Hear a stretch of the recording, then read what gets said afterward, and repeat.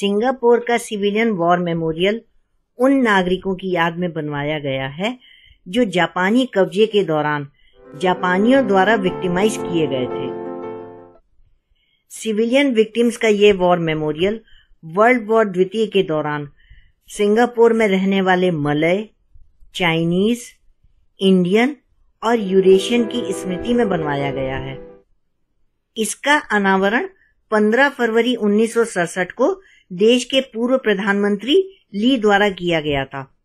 25 वर्ष पूर्व, ठीक इसी दिन, जापानी सैनिकों ने सिंगापुर को कब्जे में लिया था।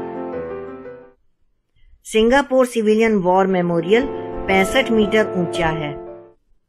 इसके चार पिलर एक ही ऊंचाई के हैं। ये चारों पिलर सिंगापुर में रहने वाली चार रेसेस को रिप्रेजेंट करते हैं।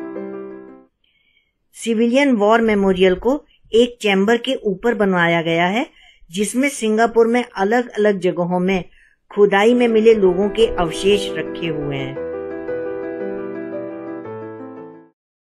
मेमोरियल पर संदेश लिखा है, जो इस प्रकार है।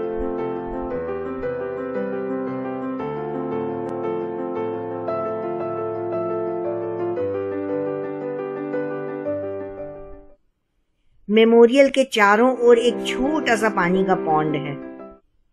सिंगापुर का सिविलियन वॉर मेमोरियल भी घूमने की जगहों में से एक है। हर वर्ष 15 फरवरी को सिविलियन विक्टिम्स की याद में एक मेमोरियल सर्विस होती है। Civilian war memorial park, Suntec के सामने निकोल हाईवे पर है।